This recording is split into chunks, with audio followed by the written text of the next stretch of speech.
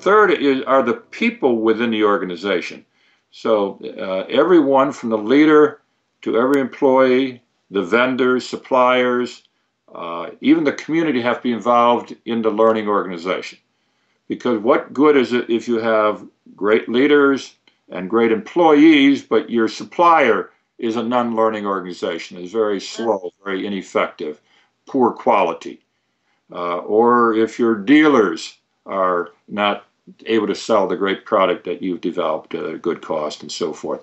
So through through the, the people system and people with and a leader's most important role is to help the people around him become learners because the more he does that, the more the organization becomes a learning organization.